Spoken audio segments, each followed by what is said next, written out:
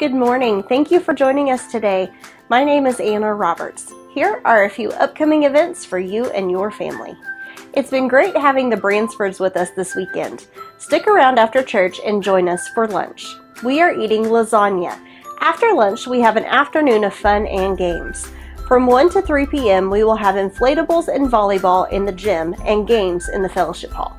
We are updating our church directory, and Jim and Lisa Ward are helping us.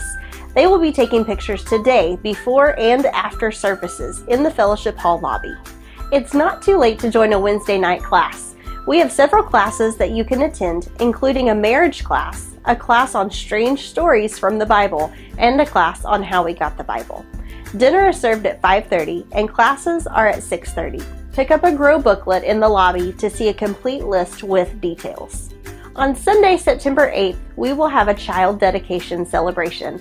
Join us as we make the dedication to raise these children to know and love God and His people. The church office will be closed on Monday, September 2nd for Labor Day. Stay connected with us at shartelchurch.org, on social media, or through our Shartel app. You can find specific ministry activities in your bulletin. Have a great week!